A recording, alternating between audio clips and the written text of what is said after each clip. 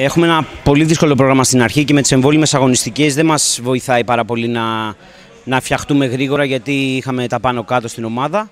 Ε, ο στόχος μας εμάς φέτος είναι σίγουρα η παραμονή, θα προσπαθήσουμε αλλά οι, οι εμβόλυμες αγωνιστικές μας δυσκολεύουν. Εντάξει, ξέραμε ότι σήμερα ήταν ένα δύσκολο παιχνίδι και πιθανότατα θα χάναμε.